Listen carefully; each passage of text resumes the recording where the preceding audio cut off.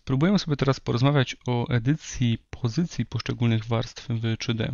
W tym celu przełączamy się do narzędzia Selection Tool i pracujemy podobnie jak w odniesieniu do warstw 2D, tylko mamy na uwadze fakt tego, iż dysponujemy trzecią osią, osią Z.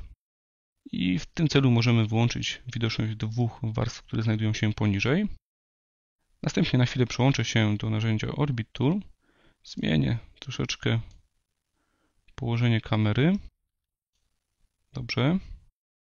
I z powrotem przejdę do Selection Tool, czyli skorzystam z V. Upewnię się, że mam zaznaczoną właściwą warstwę i skorzystam ze skrótu P, czyli Position.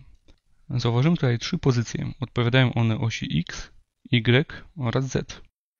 W przypadku osi X i Y widnieją już tutaj wartości. Wynikają one z tego, iż After Effects oblicza środek pozycji warstwy w odniesieniu do osi X oraz Y, począwszy od lewego górnego rogu i środek ten jest wyznaczany przez przecięcie się tych osi.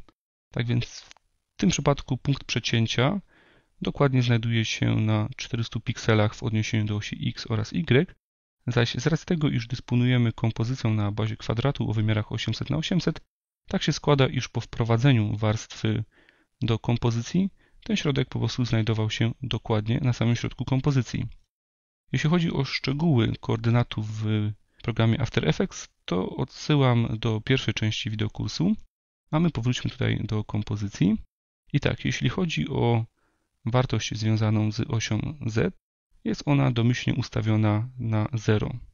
Klikając i edytując tą wartość, możemy zmieniać położenie obiektu właśnie w odniesieniu do osi Z. Czyli w tym przypadku przeciągając w lewo wprowadzamy wartości minus i przeciągając w prawo wprowadzamy wartości dodatnie. Możemy także kliknąć na odpowiednim grocie, przytrzymać i przesunąć zgodnie z tym, co chcemy uzyskać. Dobrze, i ja w moim przypadku zmienię położenie kamery i spojrzę teraz na warstwę w taki sposób. OK. I zajmijmy się teraz edycją naszej warstwy w odniesieniu do osi Y, tak więc możemy oczywiście skorzystać z wartości, które widnieją w samym środku lub kliknąć na grocie i przeciągnąć do góry. W tym przypadku wartości są zmniejszane lub przeciągnąć na dół.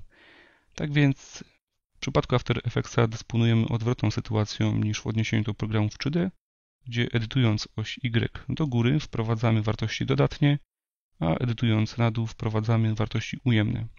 Tutaj sytuacja jest odwrotna.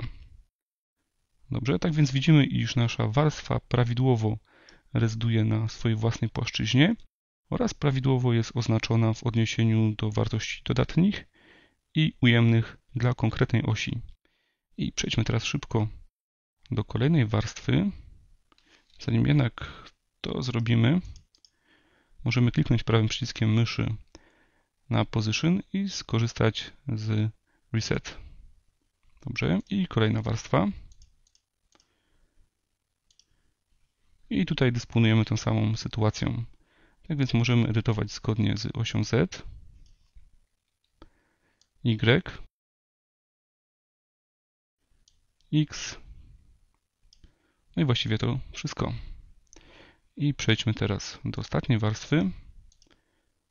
Skorzystam ze skrótu C, zmienię położenie kamery i w tym przypadku dysponujemy standardowym rzutem z przodu i z tyłu, czy też warstwą, która reprezentuje ten rzut. Tak więc przykładowo możemy przejść do rzutu z przodu i widzimy w jaki sposób